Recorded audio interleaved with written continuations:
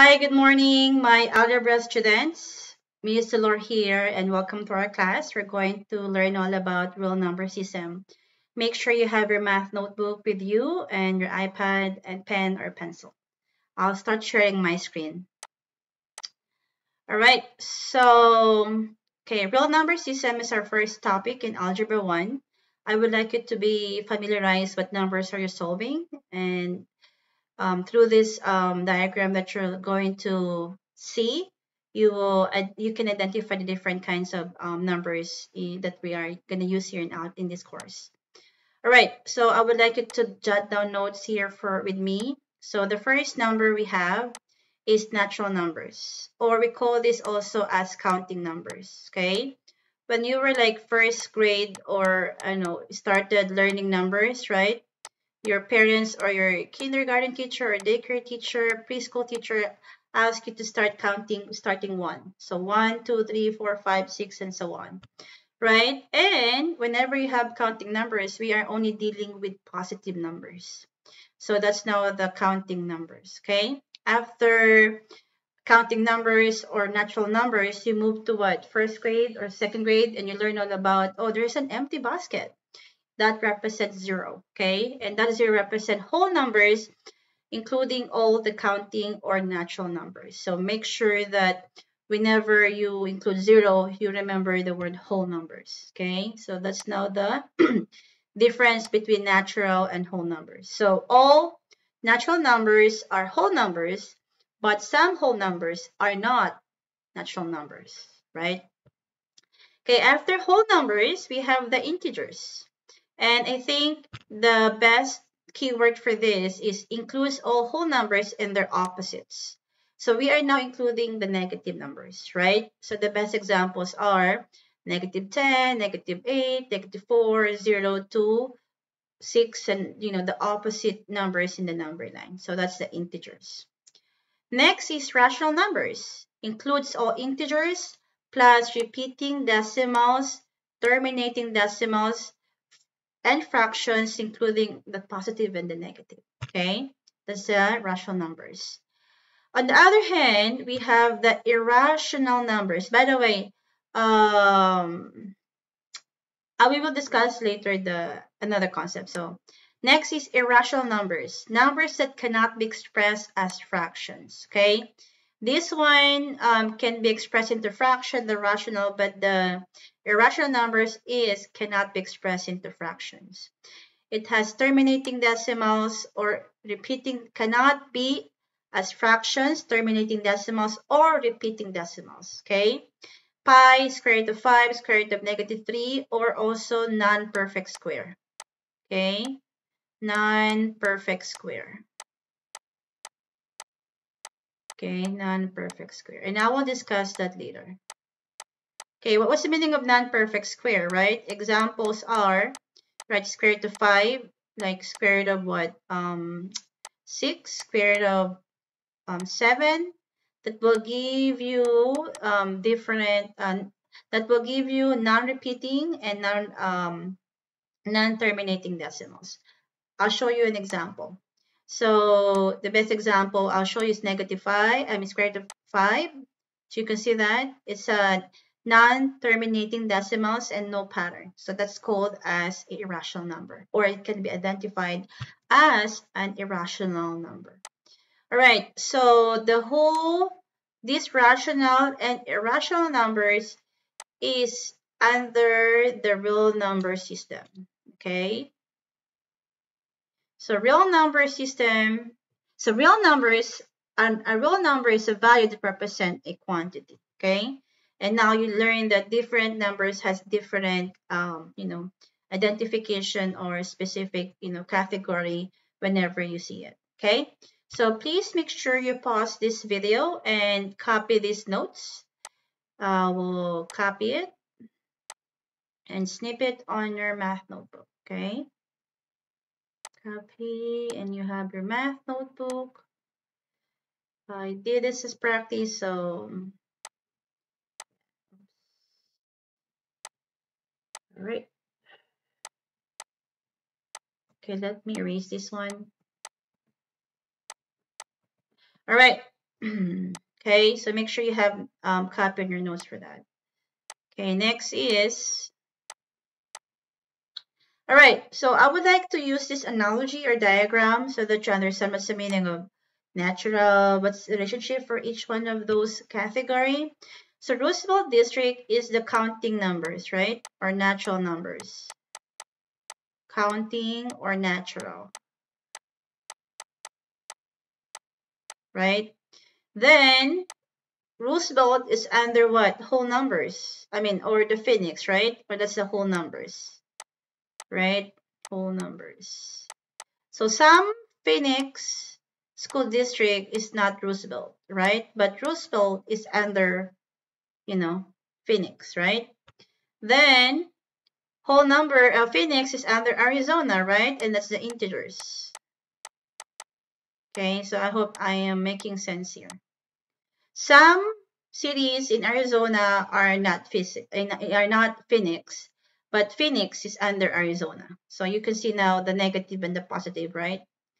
Um, or the opposites. Then the counting, the whole, and the integers is in the United States. That's the rational numbers.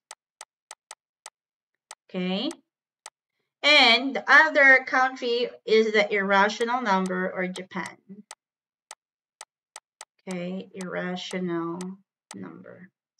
And rational and irrational is under the real number system or the earth. So that's now the real numbers.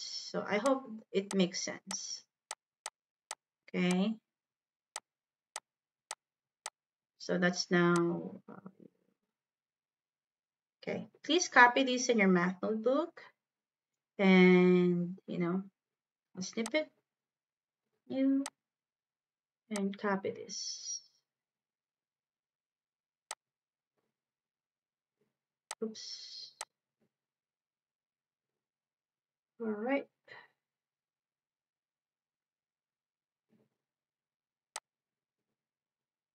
Mm-hmm. Where you?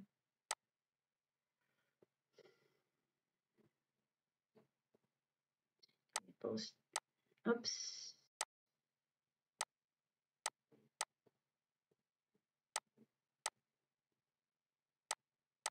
All right.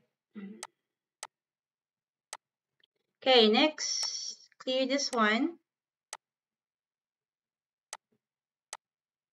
Okay, what's the meaning of rational numbers? Rational numbers are can are numbers that can be written in the form of A or B or fraction, right? And B are both integers and integers where where A and B are both integers and B is not zero, okay? The fractions can be also written as decimals. The decimal must end or repeat. So the, these are the examples of rational numbers. So negative 4, 12, 2 over 3, 6.534, and 1.2. Repeating decimals, okay? So um, I would like you to make sure to copy this. Now, let me take you here, snippet.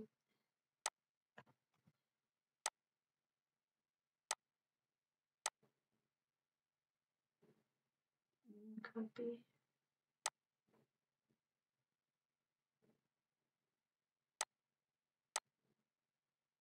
Um, math notebook. Okay. All right. Next is, let's go back here. Okay, let's next is what? What's the meaning of irrational numbers? Okay, rational numbers can be written as fractions. They also can have an endless number of digits after decimal point that do not repeat. So 2 over 0, 1 point, and there's no pattern, okay? And pi, and also we call that non-repeating, the um, not, not repeating, non-perfect square. Non-perfect square. Okay, example. Okay. Okay, square root of 5, square root of 7, what else? Square root of um, 8, square root of 10, right?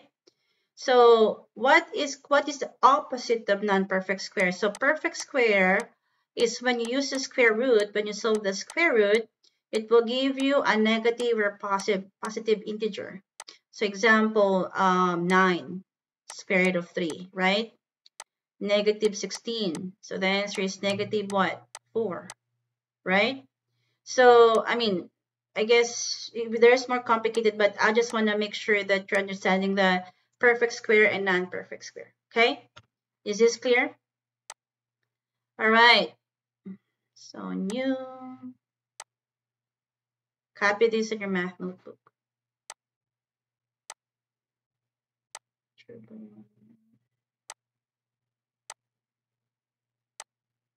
Okay, make sure you pause and copy it. Okay. Next. Um, let's now solve or identify the different real numbers, right? So, okay, negative 2 over square root of negative 2 fifths. Use your Desmos calculator. Where you're going to find that is on your website of Miss Dolor, right? Home. Okay, click the Algebra 1 notebook and click the Desmos calculator.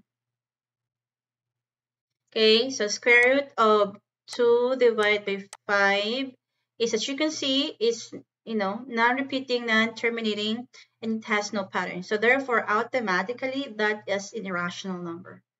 All right, so we will cross this out.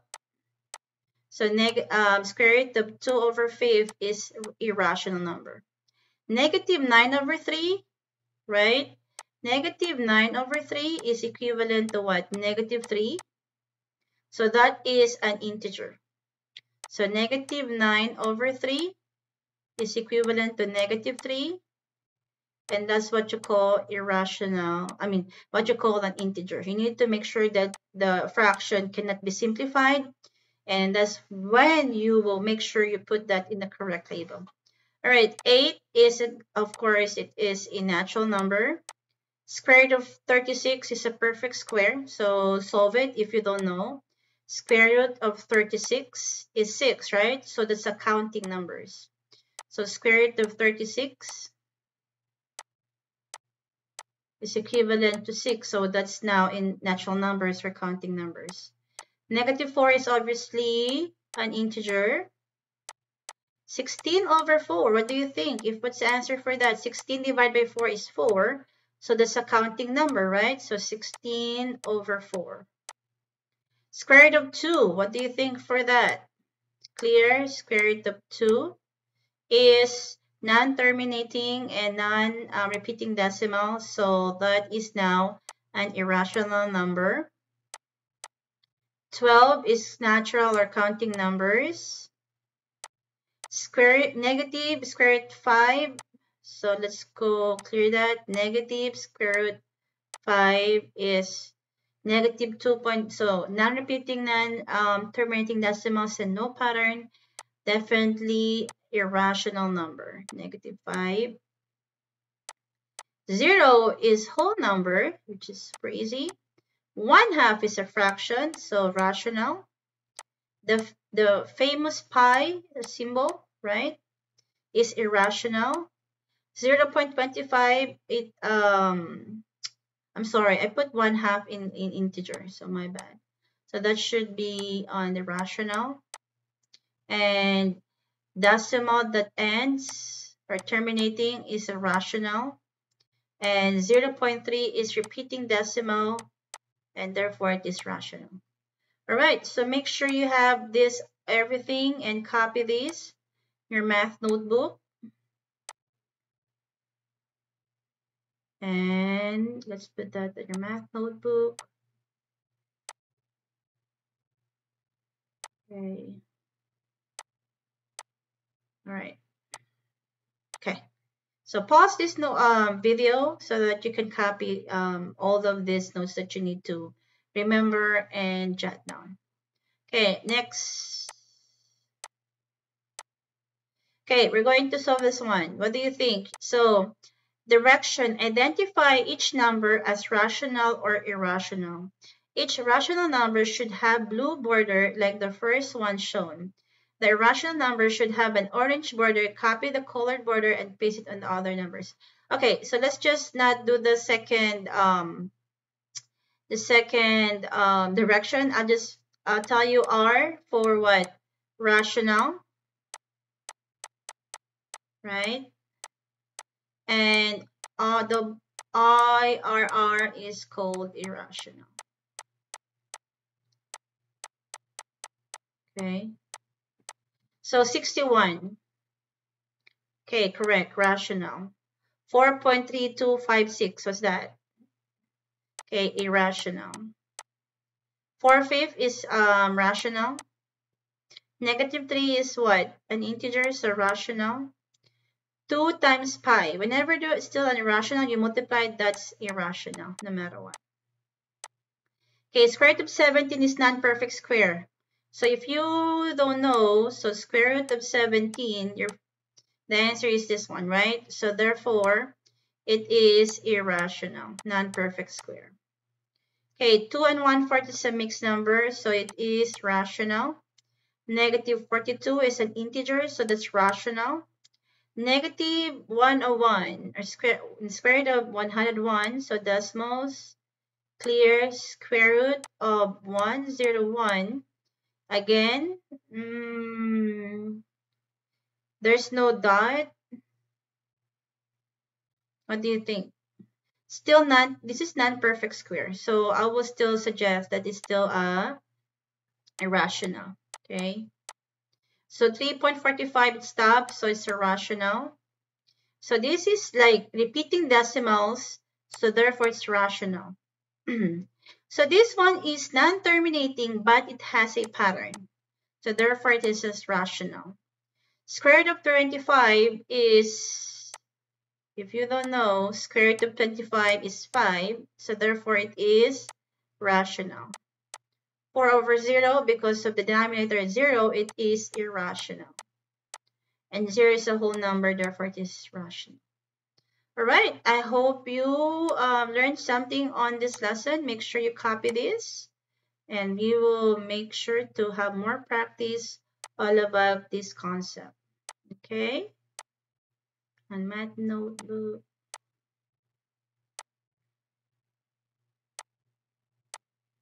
All right, so after copying notes, make sure you take your time and you will do um, two quizzes activity after this video. All right, make sure to check the website. All right, see you again to the next video that I'll create for you. Bye.